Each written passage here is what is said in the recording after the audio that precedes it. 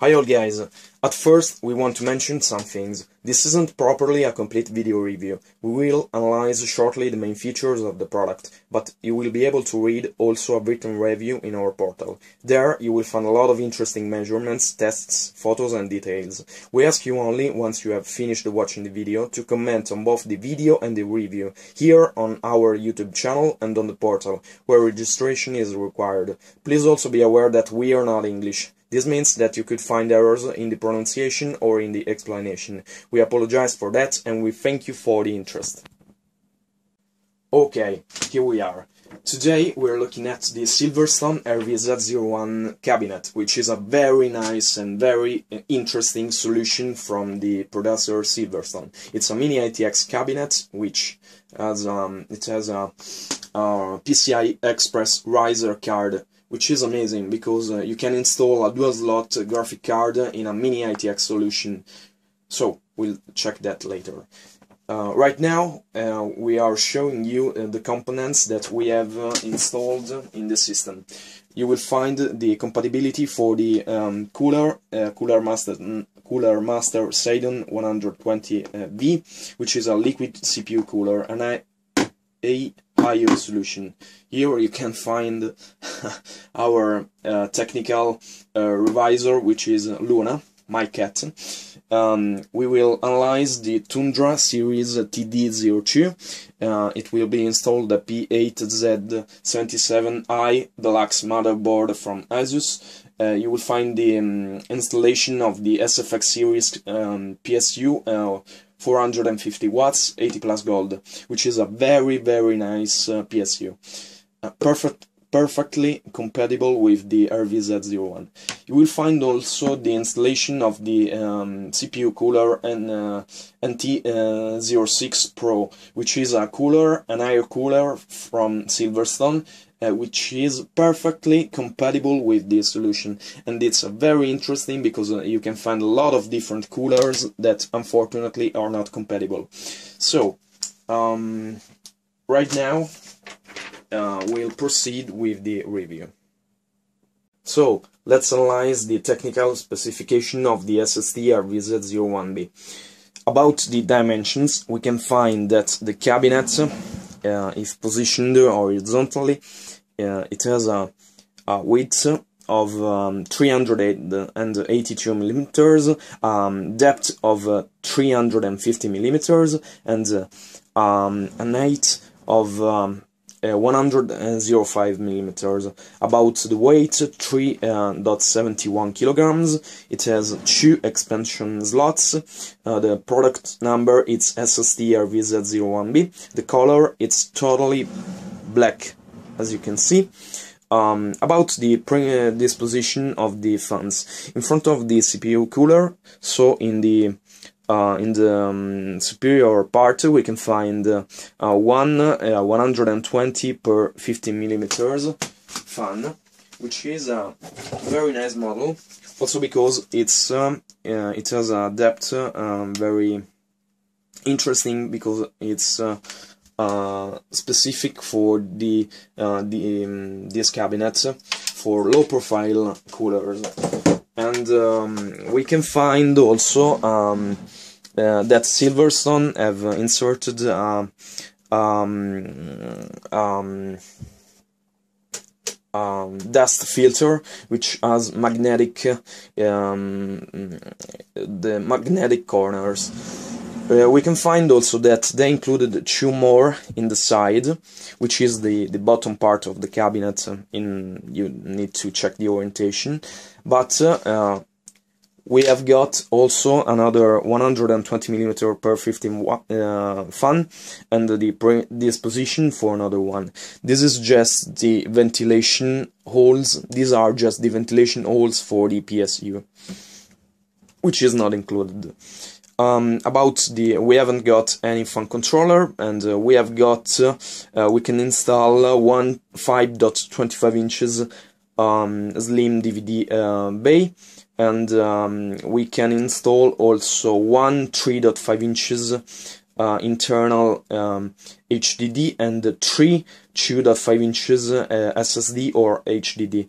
Um, Okay, about the uh, tolerance uh, for the VGA, uh, we're up to um, 33.78 centimeters or 13.3 uh, inches. About the, the CPU, instead, we can install up to 83 millimeters without the fan. Um, okay, uh, about the PSU, we uh, we highly suggest you to install uh, the SFX 450 watts SST ST45SFG, which is uh, the model uh, from Silver Silverstone that you could, you could have seen before. But anyway, it's this model which is fantastic that we have just reviewed some time ago. Um, about the um, the material of the chassis we've got um, steel and but uh, also the frontal part, the upper and the lateral part in uh, plastic. Uh, this is a Raven logo that you can uh, move and uh, uh, mm, like you wish. Um, we we can find the two USB 3.0 ports, um, 0, 3.0 0 uh, USB 2.0 ports. We can't find any SATA and SD, but we can find the power, mic, audio, and the reset button.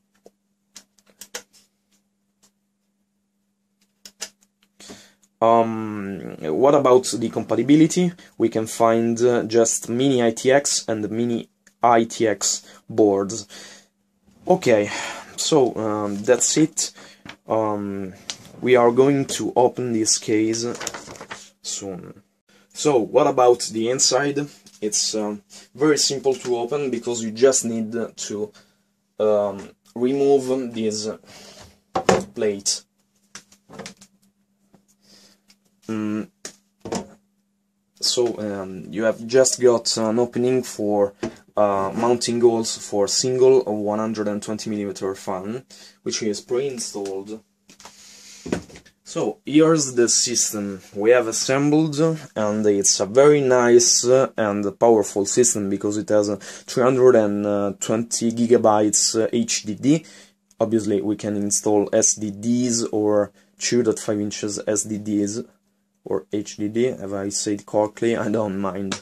Anyway, uh, this is a Western Digital Caviar Black 2 terabyte uh, 3.5 inches uh, HDD, which is a very, very nice solution. You can obviously install a Velociraptor from Western Digital, Digital for example, a 600 gigabytes or even 1 terabyte model, which is amazing for uh, fast uh, but cheap uh, um, archivation of data.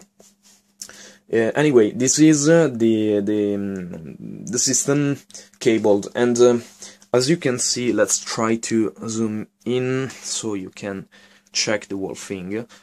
As you can see, we have tried to optimize the design. For example, this is the USB 3.0 cable. You can see the HD uh, audio connector, which isn't installed because it goes right there. And we don't want to to make too complex operations so we haven't installed it. You can see that we have placed the uh, adapter uh, for the fans, which is connected to one of the two slots for the fans in this motherboard. Um, Silverstone um, gives you this cable in the bundle, so it's a very nice ad.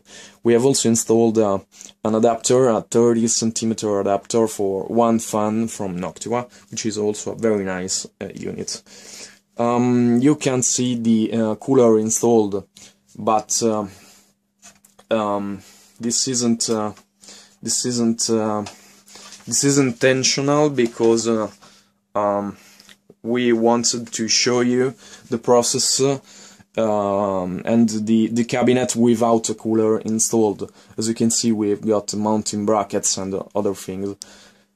Going up, we see the SATA connector, uh, the, the power connector for the HDD, the SATA connector, an empty slot for 2.5 inches, uh, SDD or HDD, but uh, this is the placement for the graphic cards. Uh, inside this, um, this um, this um, section you can install the Slim DVD player. Going down we see that there's a space for the cable routing, but uh, uh, inside this uh, um, um, this um, side of the cabinet there's a um, there's a mini plate that uh, it's very useful to install uh, another uh, SDD solution 2.5 inches. Um, we tried also to to make a good cable management uh, in this part. So we um, we um, we suggest you to make this kind of cable routing uh, to use this method because it could be complex to remove this uh, uh, HDD cage if you don't um, um, make like this. Um, anyway, the cable routing it's good, but uh, uh, it it could have been worse if you could have utilized another um, motherboard because um, fortunately the 8 pin and the 12 plus 4 pin connectors are here as the SATA cables. Um, so um, generally uh, they could have been placed like here, here or here. So this is the perfect placement for the RVZ01. So um, in the review uh, you can find all the informations about the uh, the placement for the uh, VGA card, but also the compatibility for the uh, TD02 uh, liquid AE, uh, AIO cooler. Um, so um, we we thank you for the this um, the interest for this mini preview and um, we we we suggest you to check the written review. If you have comments, please let us know. Some other things. What could I tell you? Yeah, this is the placement for the PSU. Um, um, yeah, nothing else. Thank you. Oh, sorry, just a side note.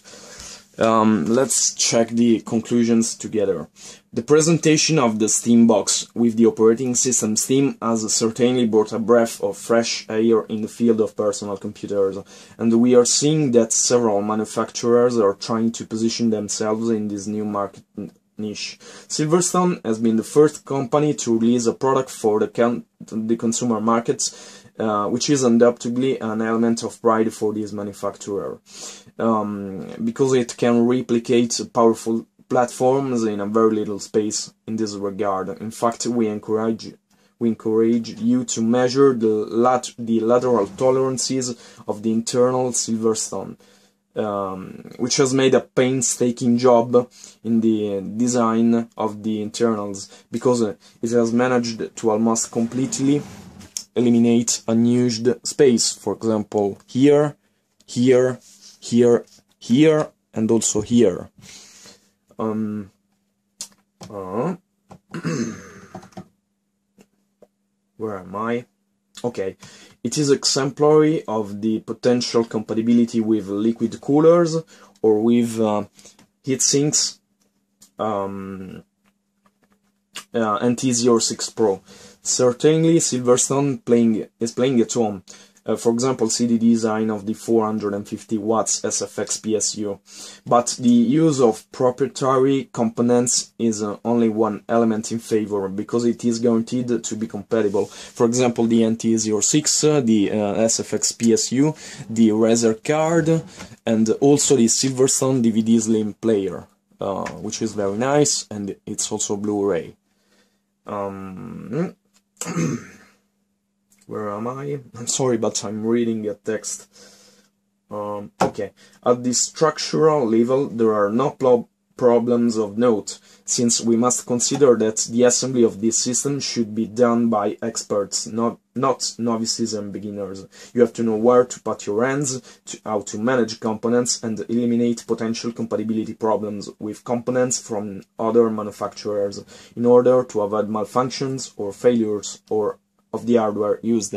Why I'm telling this? Because we have tried to install the Thermalright AXP200, which we reviewed in our uh, site, but unfortunately it's not compatible. And uh, if try if you try to install it, you can you could uh, uh also damage the uh, some components in the uh, lateral part of the um, the motherboard. So we we ask you to please try to be careful while installing your components here. Um, anyway, let's be clear. This is a gem, one of the best mini ITX enclosures ever designed.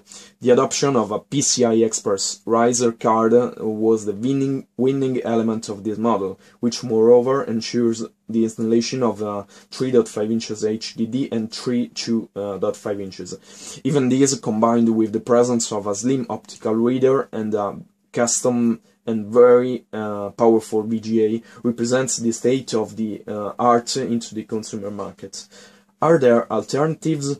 In addition to the aforementioned Steambox still in the design phase, there are variations like for example the ASRock Model M8 or the Alienware uh, X51 which has an external power supply, not like the Silverstone one.